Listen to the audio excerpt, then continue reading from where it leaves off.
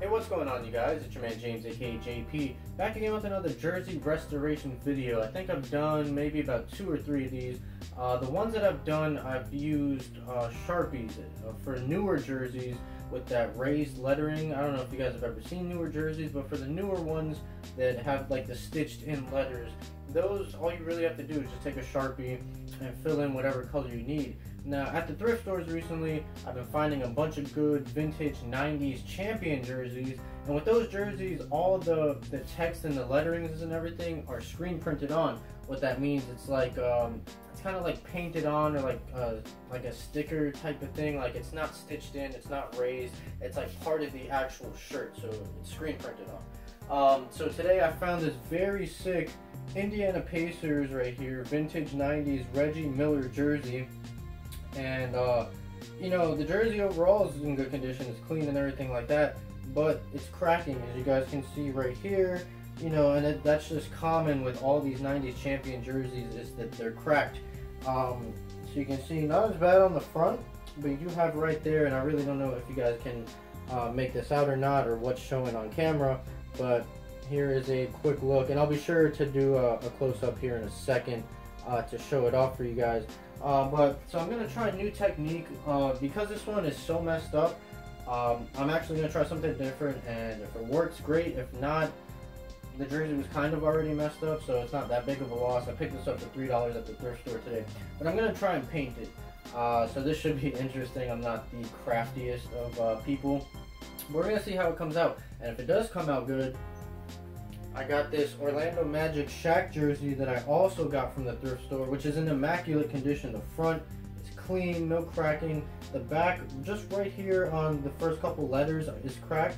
Um, so I'm going to test out this Pacers jersey, see how that goes, and if it does come out clean, I'm going to do it on the Magic jersey. Uh, so first thing I'm going to do is tape off with uh, like some masking tape or painter's tape or whatever. Tape around the areas I'm going to paint uh, so I don't get any paint on the actual jerseys that I don't want paint on, you know, the areas of the jersey. I don't have the rest of the supplies with me once I'm going to go to the store once I'm done taping this up and get the paint and the paint brushes and everything I need. Uh, once I get that, I'll obviously show you guys and then show you guys the painting process. So uh, let's go ahead and get into it. Alright, and here's just a quick close-up of the jersey itself so you can see all the areas that are cracked right there. So this is, uh, it's going to be interesting to see how this comes out, that's for sure, because I'm, I'm not very artsy or very crafty, but I think I can do it. Uh, so we'll see. So that's the front doing this with one hand, so give me a second. There we go. So there is the back. Right there. So you can see the back's pretty bad. If it was just the front, I'd probably leave it, but the back's pretty bad, not gonna lie. So we'll see what happens with this. So let's go ahead and start taping this off. Alright, so I'm like 20 minutes into this taping process, and it's very tedious. I just, I personally don't have the patience to do all this, and I'm not the best at it. And it's very hard just because it's fabric uh, to get the tape to stay in like one solid location. So I'm actually going to take the tape off and I'm going to freehand it. I don't recommend doing this unless you want to be at risk of uh, maybe getting it onto the areas you don't want. I have a pretty steady hand so I'm not worried about like it leaking onto other sections. But just to let you guys know, I do recommend taping around the areas that you do not want paint on. I just don't have the patience for it. Um, so I'm gonna go ahead and remove this tape and then we'll get started with this painting process. Alright you guys, so I got all my supplies. Uh, my AC is on, so if you hear like that AC noise in the background, that's what it is. Uh, so here's everything. I picked everything up at Walmart. Really cheap stuff. This was uh, 50 cents for this paint right here. And this is uh, Apple Barrel Yellow paint. Uh, just some regular acrylic paint. I know the first comments are going to be why didn't I use Angelus. Uh, honestly, I just went to Walmart and grabbed the first thing I can find. Uh, I also just grabbed a standard uh, white paint, if we can focus in, there it is. So we got white, and then I just got a standard set of uh, some brushes right here. Comes with a bunch of different variations of sizes, all the way down to the very precise and thin one that's so small the camera's not going to focus. Uh, to get those tight corners, uh, I'm using this to put the paint on. I have water in here, and paper towels and I'm doing this on my countertop in the kitchen it's always good to do this on a nice flat surface a sturdy surface got a dirty towel here and I put a piece of cardboard uh, behind the jersey so the paint doesn't bleed through to the other side which I just used from a pizza box. And uh, that's pretty much it. Uh, whatever you guys do don't try these ever. This is the worst like combination. It's sour and then it gets spicy. I don't know why I even bought them. It said new so I bought them but horrible. Um, so I already tried this out. I don't know if you guys can see any difference from when I showed you the jersey just a few minutes ago. Uh, I put two coats on it already just to see if this video is even worth making. And it honestly is making a difference. But the parts where I have to paint over the blue, I'm definitely going to need quite a few coats to cover that up. Uh, but the yellow matches up perfectly. Uh, so I'll just show you guys a little bit of the painting and then I'll show you the end result.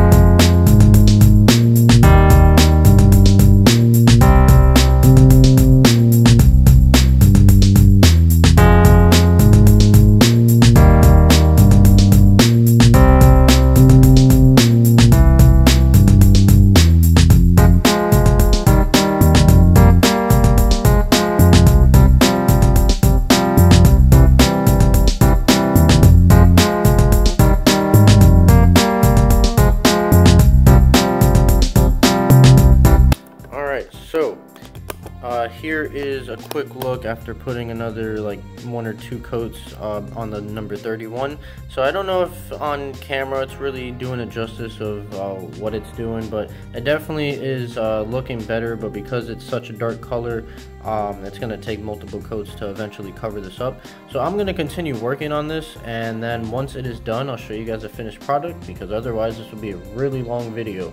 Uh, so without further ado, here is the jersey in all its glory. Alright you guys, so here is the finished product. And man, this came out a million times better than I ever thought it was going to. Uh, I'll show you guys a close up right here without tripping over this wire that's in front of me. But look at this. Obviously, you know, there's still some cracking and some parts I really... I just wanted to get it to where it was wearable. And for me, this is wearable. This took a while. This took a few hours within you know spread over a couple days just because I would let it dry overnight or whatever. Uh, but I don't know if you guys remember before this eye was non-existent this whole area right here. So the parts you can obviously see the material difference from where the actual letter was missing and I painted over the jersey. But compared to how this was in the beginning of the video this is a much bigger improvement. I mean all of this was bl uh, blue or whatever so this looks much better. Like i said if i wanted to take a lot more time and be precise and detailed i could have got every little nook and cranny but to me this is perfectly fine. This is wearable to me. Uh, you know from a distance you know you can't even tell. And somebody's gonna get up close in your jersey and like inspect every corner uh, i don't know why anyone would do that but and then here we are with the back. And if you guys remember the back was a lot worse than the front was. And for some reason my camera doesn't want to focus. There we are. Uh, obviously you know I still got some parts here. These parts were heavily uh, you know chipped and, and peeling and cracked and everything. Uh, so you know eventually I could probably go up and touch them but again this is this is still good right here. Th this will get the job done. And like I said let me uh, move back here from a distance, you know, it's really not that bad. Uh, so this is definitely wearable to me. Uh, I'm definitely going to wear this. I'll probably touch up the back, maybe one more coat of paint or something eventually. But for now, like I said, this is good enough for me. Uh, so that's pretty much it. So um, I hope you guys enjoyed this video. Uh, sorry that I couldn't uh, show you the entire painting process. Like I said, it took a long time and it would have been a super long video. So I just showed you guys a little snippet of uh, the beginning of it. Uh, I do have to iron the jersey though because now it's all wrinkled from uh, when I was painting and everything but there it is. So like I said I hope you guys enjoyed this video. If you did make sure you like comment and subscribe. Stay tuned for more. Share this video with your friends and as always I'll see you guys next time